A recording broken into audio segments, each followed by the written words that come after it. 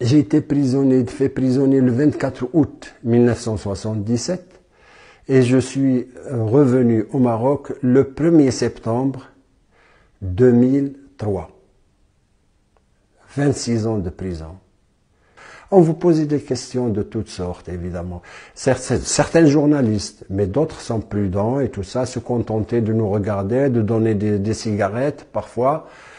Et ça, là, j'admire les, les, pays occidentaux, la plupart. Les plus dangereux, ce sont d'abord les, les pays de l'Est, les socialistes.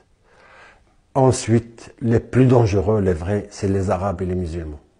Là, vraiment, ceux-là ne venaient là comme Arabes et musulmans que des gens qui sont capables de prendre les armes contre nous, y compris les Palestiniens, surtout George Habash.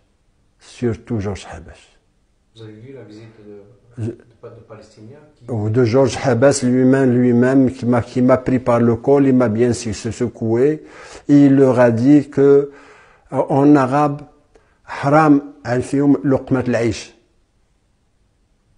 il a dit que c'était vraiment une... Euh, il ne mérite pas d'être nourri. Voilà, c'est à peu près en français. C'est Georges Habash Georges Habash lui-même. Ouais. Par deux fois, il était venu nous voir. On a reçu la visite d'André Young. Euh, à l'époque, c'était l'ambassadeur des États-Unis d'Amérique à l'ONU. Euh, des congressistes américains, des sénateurs, euh, beaucoup d'Italiens, beaucoup d'Espagnols.